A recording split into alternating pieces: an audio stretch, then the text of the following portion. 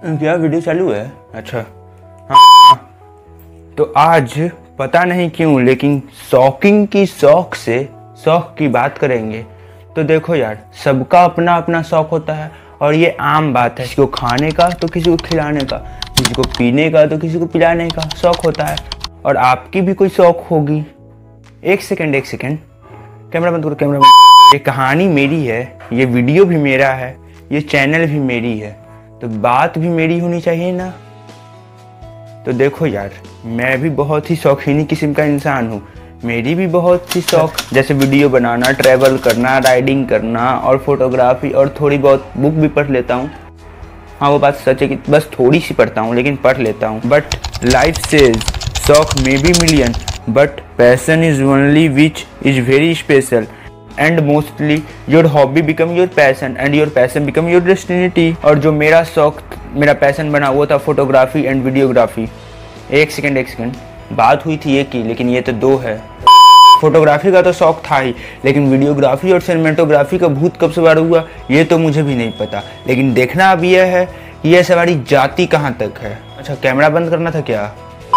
देखो, शौक तो बहुत होती है, लेकिन उसे लिमिट करने वाली कई चीज़ें होती है, जैसे एज बजट रिच मेरा एज है अभी 16 साल, और इस एज में मोस्टली घर से दो या तीन हज़ार ज़्यादा से ज़्यादा मैक्सिमम इतने ही रुपए मिलते हैं। और इतने रुपए में तुम एडिडास या पुमा के शोरूम में मुँह उठा के तो जा नहीं सकते।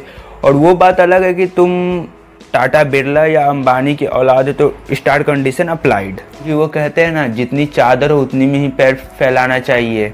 सेम अप्लाइज हीयर लेकिन मैंने कहा, लेकिन चाहे मेरे पास सोनी या निकॉन का महँगा वाला कैमरा हो ना हो, चाहे एक्सपेंसिव मोबाइल हो ना हो, बट कहते हैं ना, it does not matter what you have, it matters what you make out of it. My camera may be cheap, but my skill can not be priceless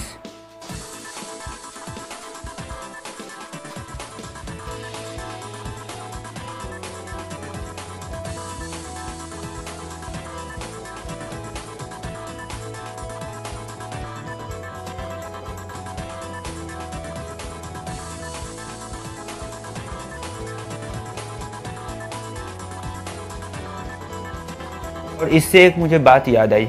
अगर कोई पंछी डाल पे बैठती है तो ये नहीं देखती है कि वो डाल कमज़ोर है या मज़बूत, क्योंकि उसे अपने आप पे भरोसा होता है।